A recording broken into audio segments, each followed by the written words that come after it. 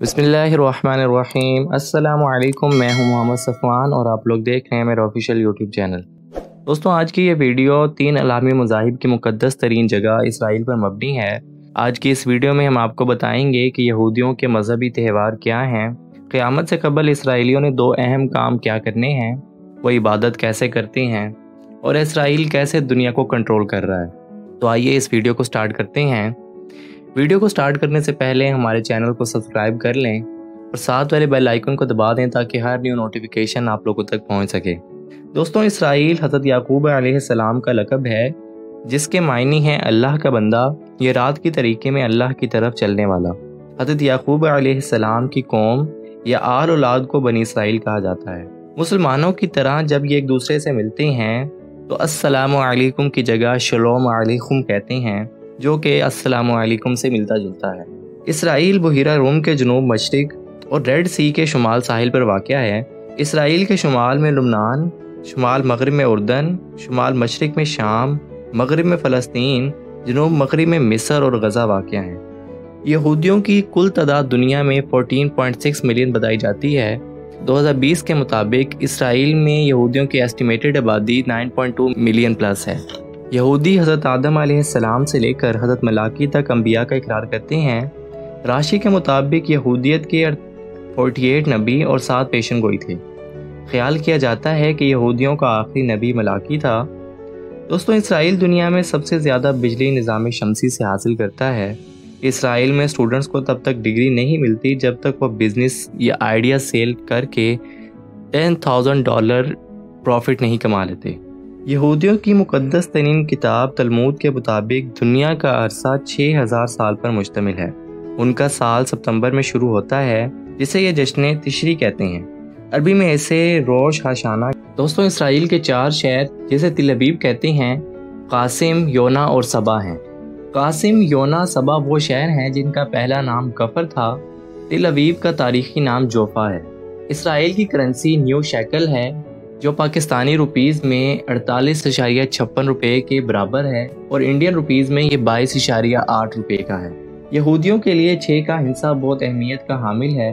उनका मानना है कि अल्लाह ने ज़मीन व आसमान को छः दिन में बनाया और उनका मानना है कि अल्लाह ने हफ़्ते के सात दिन में से एक छः दिनों ने काम करने की इजाज़त दी, मगर सातवें दिन यानी योम सब पर उन पर काम करने की पाबंदी लगा दी। इसराइल का झंडा देखें तो छह कोनों वाला सितारा नज़र आता है, जिसे स्टार ऑफ़ डेविड यानी सितारा दाऊदी कहते हैं। दोस्तों, दुनिया की तमाम बड़ी कंपनियों का रिसर्च सेंटर इसराइल में है। दुनिया अब फिफ्थ जनरेशन वॉर की तरफ़ बढ़ रही है। हैकिंग के ज़रिए ममालिक की जासूसी की जा रही है। अब सिर्फ़ एक क्लिक के ज़रिए किसी भी मुल्क की सेटेलाइट इंटरनेट और लोकेशन को जाम कर दिया जा सकता है। इसराइल में तेरह साल के बच्चे को हैकिंग सिखाई जाती है और इसकी प्रैक्टिस की जाती है। नाजरत शहर में जैकब, मैरी, जीजिस, यानी हज़रत याकूब सलाम और हज़रत मरियम सलाम का घर था। और हज़रत ईसा सलाम की विलादत भी इसी शहर में हुई थी। इसराइल में सबसे बड़ा जश्न का दिन हैप्पी पास ओवर यानी ईद फसा का होता है, जो सात दिन मनाई जाती है, यानी पंद्रह से बाईस अप्रैल तक मनाई जाती है। ये दिन फिरौन से आज़ादी के तौर पर मनाया जाता है। ईरानी बादशाह ने हमान के कहने पर यहूदियों को कत्ल करने का हुक्म दे दिया लेकिन कासिद ने हुक्म मलका को बता दिया, जिस पर मलका ने हमान को ही कत्ल कर दिया। इस दिन ये ईद कोरम यानी योम निजात के तौर पर मनाते हैं, ये हर साल के आखिरी महीने की चौदह तारीख को मनाया जाता है। इनका तीसरा त्यौहार रोज हाशाना है, इसे जश्न नौरोज भी कहते हैं। इस दिन नसंगे फूके जाते हैं, रोटी और फल को शहद में डबोकर खाया जाता है।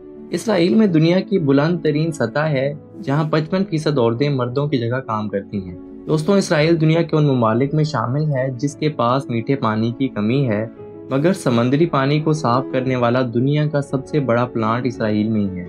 Holy church of sepulchre sepulchre cover को कहते हैं, ईसाइयों के नज़दीक ये पाकिज़ा तरीन जगह है। ईसाइयों का मानना है कि यहाँ पर हज़रत ईसा को क्रूसीफाइड किया गया था, मगर दीन इस्लाम के मुताबिक अल्लाह ताला ने हज़रत ईसा को ज़िंदा आसमान पर उठा लिया था। ईसाई रवायात के मुताबिक इस चर्च की पहली मंजिल पर वाक़ पहाड़ी पर हज़रत ईसा को मसलूब किया गया।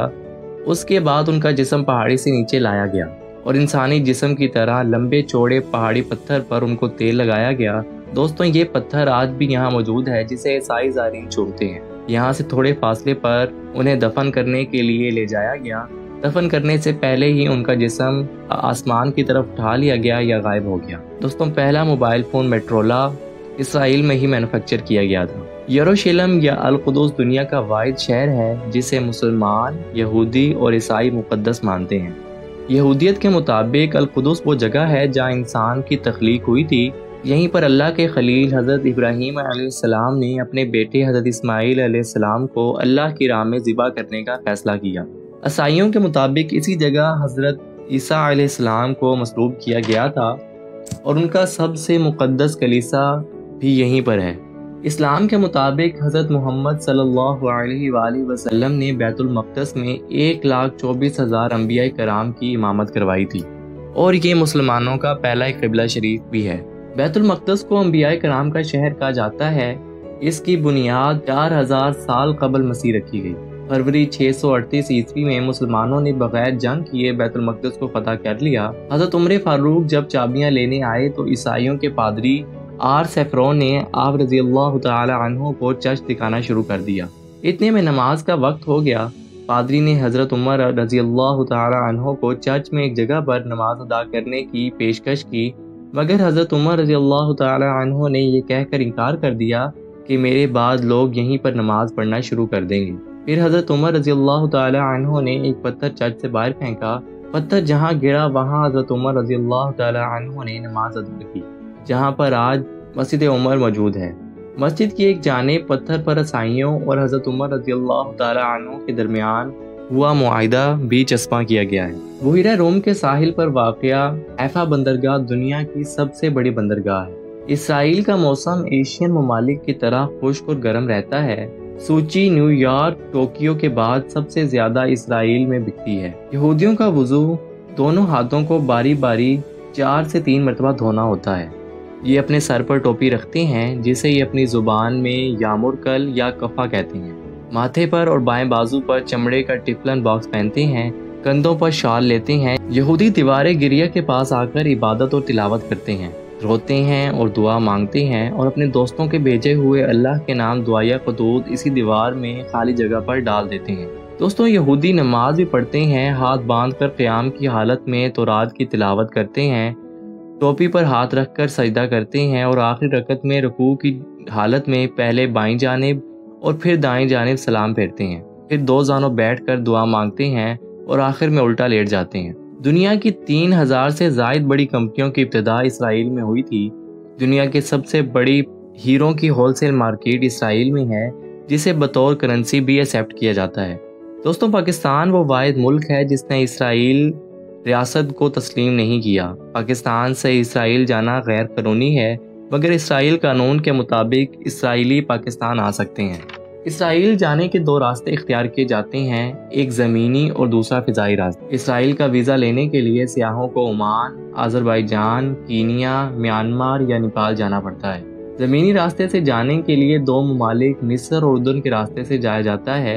मिस्र या उर्दन पहुँचने पर सियाह वहाँ से आर्जी सफरी दस्तावेज़ इसराइली सफारत खाने से हासिल करने के बाद इसराइली बॉर्डर पर आते हैं। इस पर दखूल की मोहर लगाई जाती है। असल पासपोर्ट जमा कर लिए जाते हैं। इसराइली पाकिस्तान से आने वाले तमाम सयाहों का डाटा महफूज करके साल के आखिर पर अकवा मुतहदा के हवाले करते हैं और कहते हैं कि यह मुल्क हमें तस्लीम नहीं करता, मगर सयाहों की बड़ी तादाद इस मुल्क से हमारे मुल्क में आती है।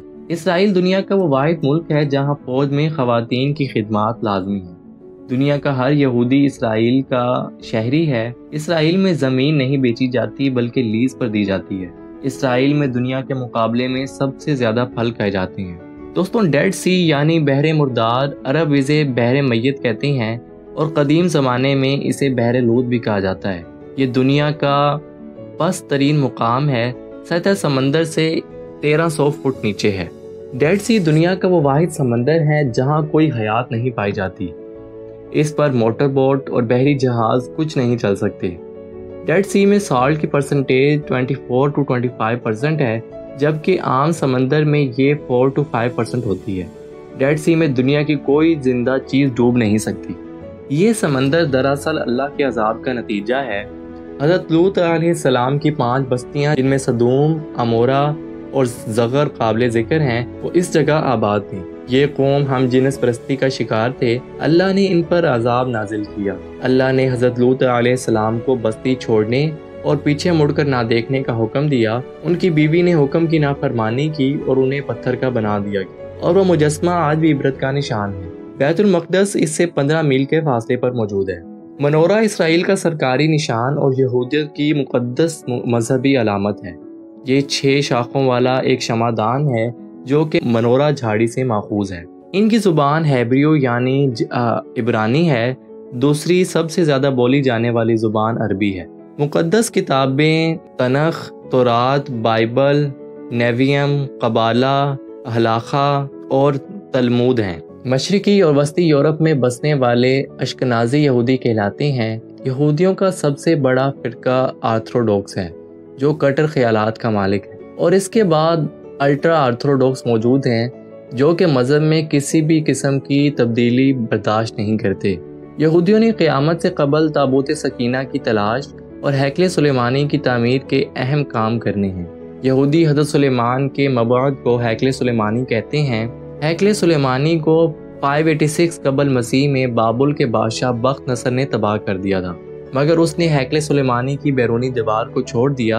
आज भी यहूदी यहाँ आकर मातम करते हैं, जिसे जिसे तशाबियो भी कहा जाता है। यहूदी इस दीवार को कोतल, जबकि मुसलमान इस दीवार को गिरिया कहते हैं। इसराइली कौम अल्लाह ताला की नाफरमान कौम थी। अल्लाह ताला ने इस कौम की फलाह के लिए बेशुमार अम्बिया भेजे। मगर इस कौम ने अल्लाह ताला के तमाम अम्बिया कराम का इनकार किया और अल्लाह ताला के उन अम्बिया कराम को नुकसान पहुँचाया और काफ़ी ज़्यादा अम्बिया कराम को यहूदियों ने कत्ल कर दिया। जब हज़रत अरमिया सलाम ने बनी इसराइल को अल्लाह का पैगाम पहुँचाया तो उन्होंने सरकशी की और हज़रत अरमिया सलाम को बाँध दिया अल्लाह ताला ने हज़रत अरमिया सलाम से कहा कि आप इस कौम को बता दें कि अल्लाह ताला तुम पर एक अजाब नाजिल करने वाला है। और कहा जाता है कि ये वही वक्त था कि जब बख्त नसर ने इसराइल पर हमला किया और तमाम यहूदियों को तबाह बर्बाद करके रख दिया।